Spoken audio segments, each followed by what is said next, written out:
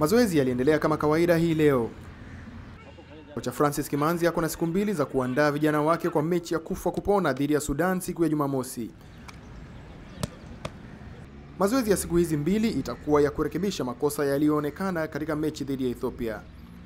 hata kama tulishinda makosa yalikuwepo, kwa lazima tu, tu, tuweze kurekebisha na tuweze kufanya mazoezi kulingana na the next opponent. Ndio maana tuko hapa leo asubuhi.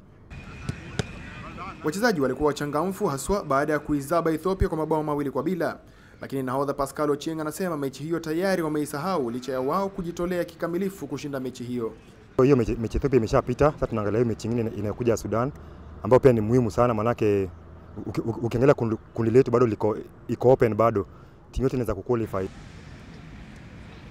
Tuliamua kujiunga na timu hiyo kwa mazoezi, kwani wachezaji walionekana kuwa na furaha na mazoezi hayakuonekana kuwa magumu. Licha ya kushinda mechi ya jana, Harambee Stars walikuwa uwanjani kwa mazoezi hii leo asubuhi saa 12 unusu, na kama nilivyoshuhudia, kibarua ni kikubwa hapa. Sisi tumezoea, manake wewe ufanyaji mazoezi kila siku, wewe mara mingi kwa ofisi, unajua nafanya kazi yako, si ndio kazi yetu, manake tumezoea. Mazoezi ya kesho yanatarajiwa kuwa ya kiufundi huku makocha wakichambua mbinu za kukabiliana na Sudan. Malawi wanaongoza kundi hili na alama nne, Harambee Stars ni ya pili na alama tatu, Sudan ni ya tatu na alama mbili, na Ethiopia ni ya mwisho na alama moja. Yoyote atakayeshinda mechi ya Jumamosi bila shaka ana uhakika ya kufuzu robo fainali. Michael Kinyi, mwanaspoti wa Citizen, Dar es Salaam, Tanzania.